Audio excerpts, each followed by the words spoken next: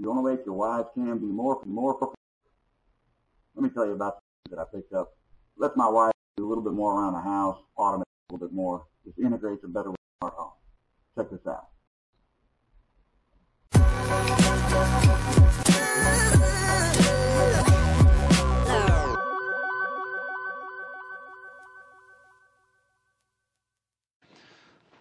What's up everybody? Thanks for stopping by. Welcome to my channel. My name is Adam and in this week's video it's all about the Wyze Cam. So if you didn't see the previous video where I initially bought the Wyze Cam, unboxed it and set it up, link for that is right here. And I was super excited about that Wyze Cam. The picture was good, the um, you know the motion detection was good, the outlining of the person when it found one moving around was a great feature that I really liked. Um, but when I tried to set it up and integrate it better into my smart home, I was a little disappointed in some areas of it. Um, but some areas of it I was completely satisfied with. The area that I really did like, which I will show you how I set that up, was the motion detection. Um, just like my Samsung motion sensors that I've got in my kitchen and I've got one in my hallway.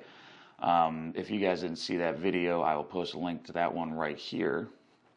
But anyway, just like my motion sensors, I can go straight into my Echo app and create a routine so that if the Wyze Cam detects a person or detects a person in motion uh, at certain times from midnight to I think 6 a.m., um, it will turn on my living room light for me to 5% so I can get up and I can walk through and it lights up so that I can see what I'm doing and not trip or walk into things. Um, the part of the setup that disappointed me was the push notifications. So I initially set it up through the Wyze Cam app so that if it detects motion, it would send me a push notification letting me know that there's something going on in my house. What I quickly found out was that it sends me a notification for everything. Watching TV, if a scene changes on the TV or there's a person on the TV on whatever I'm watching and that person moves to the other side of the TV screen, the Wyze Cam thinks that's a person in the house and it sends me a notification. So I was getting notifications constantly. So I eventually disabled it. Um, I took it a step further after that because I didn't want to disable it. I wanted the notifications, but I didn't want them all the time, obviously, for obvious reasons. So I created uh, rules within the Wyze Cam app, and I'll show you how I did that. But through those rules, I can make a shortcut on the Wyze Cam app uh, home screen to either enable notifications or disable notifications so that when I'm leaving the house, I can open the app and hit that shortcut rule on the home screen of the app to enable notifications and then do it again to disable notifications. But after a while, that became, uh, I mean, I don't want to say cumbersome, but it was annoying having to pull the phone out, open up the app, and do that every time I was leaving the house or coming home from the house. This is where the app called IFTTT comes in. And IFTTT stands for if this, then that.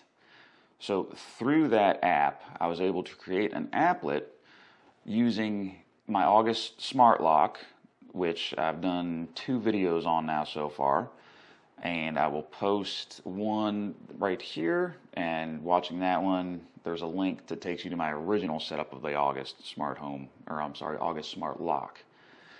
Anyway, through the IFTTT app, I created an applet or uh, a routine applet, I believe is just another term for routine in the IFTTT app. But at any rate, I created an applet so that when my August Smart Lock locks, it enables notifications through the Wyze Cam app so that when the camera detects motion or person, it will send the notifications to my phone.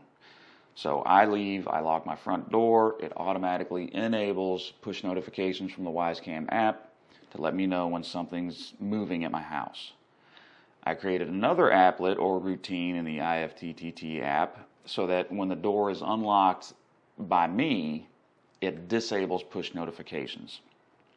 And I will show you that app and the applets or routines that I set up um, here in a minute in this video.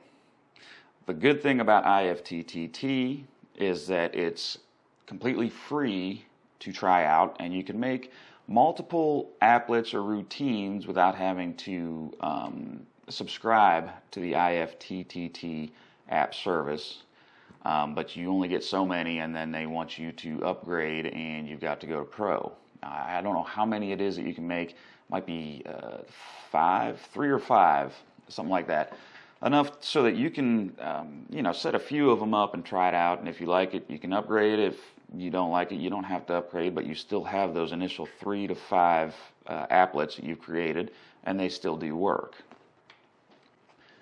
So anyway, we will cut down to the phone, and I will show you um, the Wyze Camera app, the rules I created in that app, along with the shortcuts and what they do, and how I created my echo routine so that uh, it turns on my living room light for me in the middle of the night when I get up to use the bathroom or get a drink of water from the kitchen.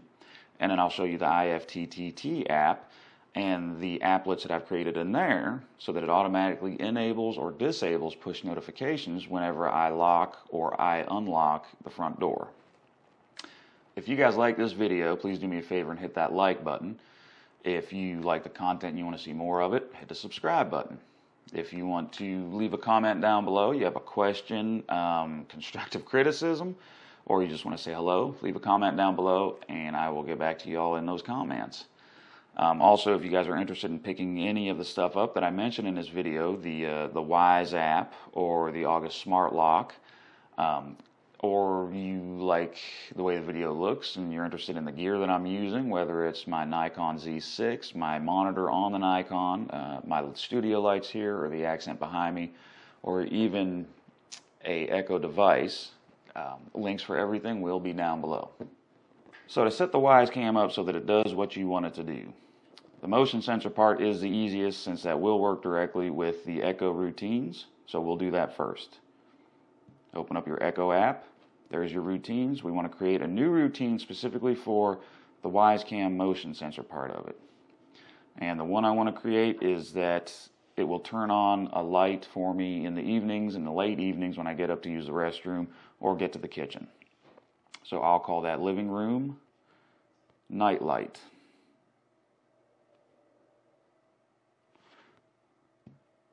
Save the routine name as that. When this happens, this is where we select the trigger and we want the living room cam to detect a person, save.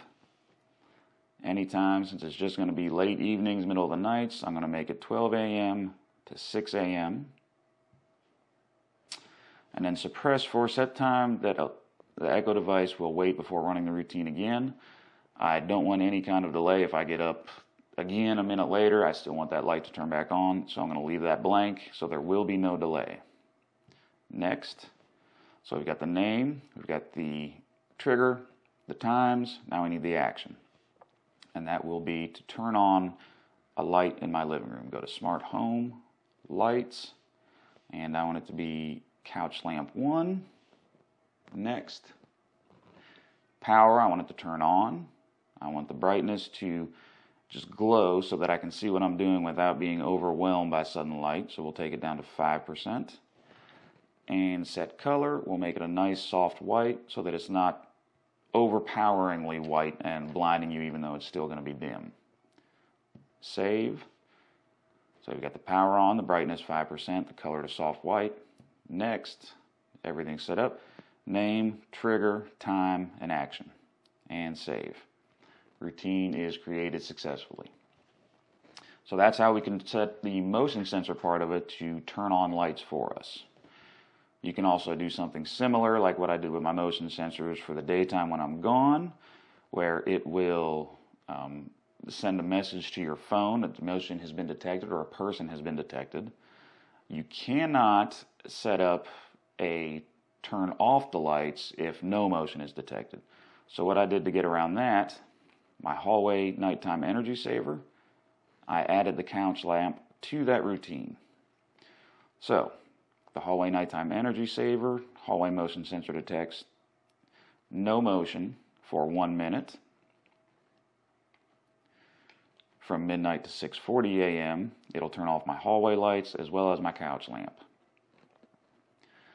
So that is how you set up the motion sensor part to turn on lights when your Wyze cam detects a person getting up, uh, moving around in the middle of the night. So, say you want to take your Wyze Cam a step further and use it as uh, similar to how the motion sensors will send you alerts uh, based on current times or current times that you set.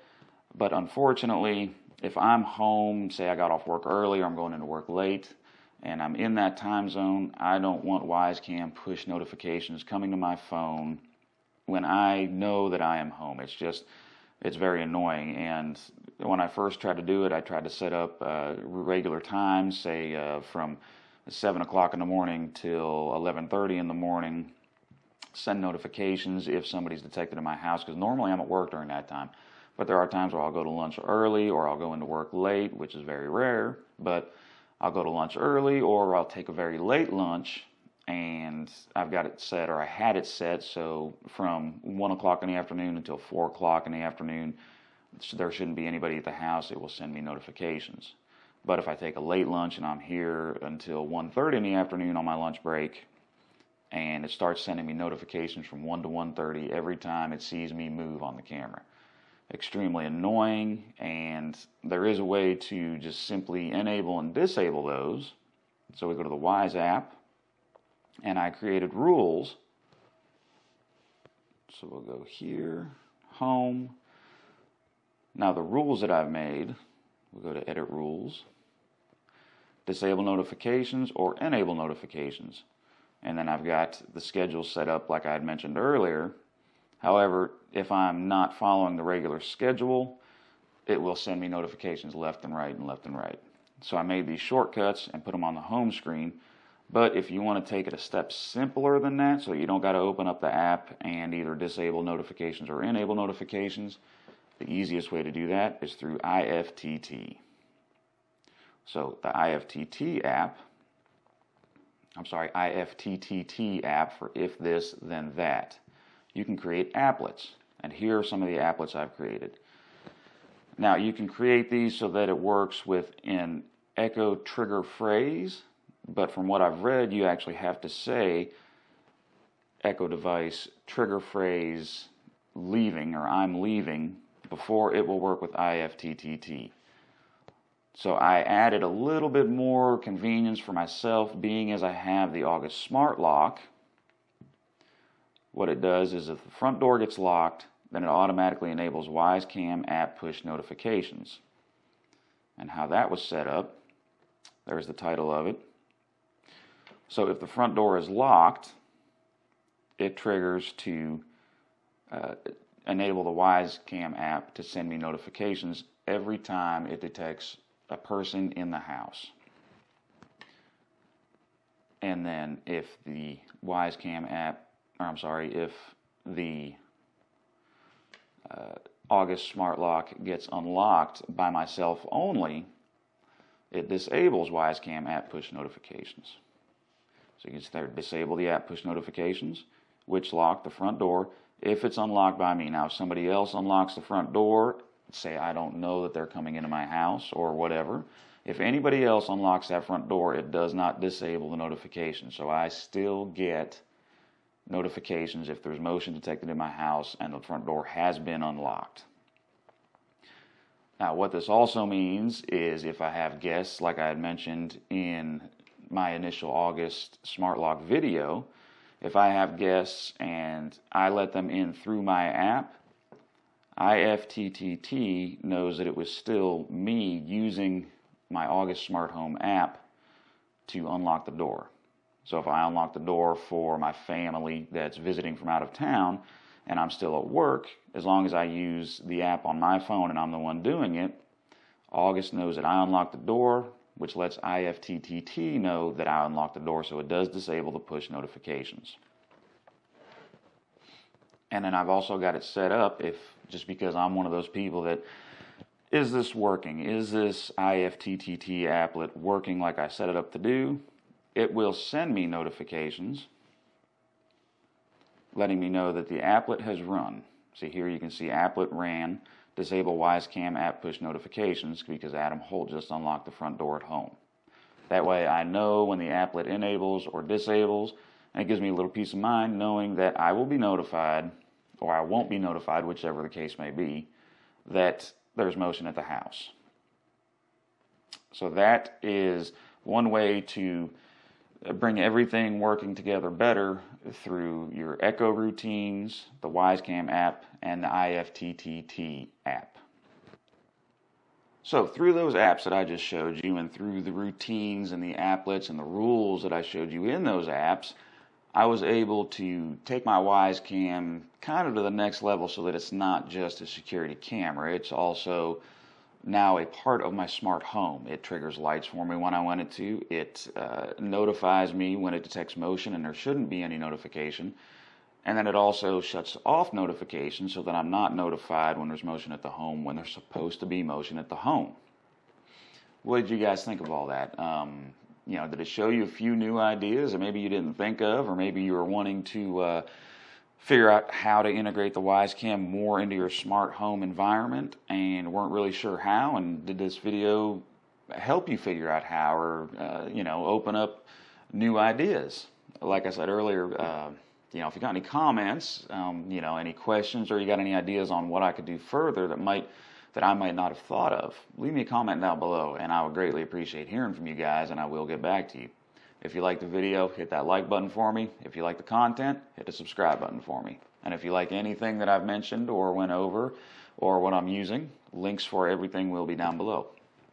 Thanks, guys. I hope to see you next time. Have a great day.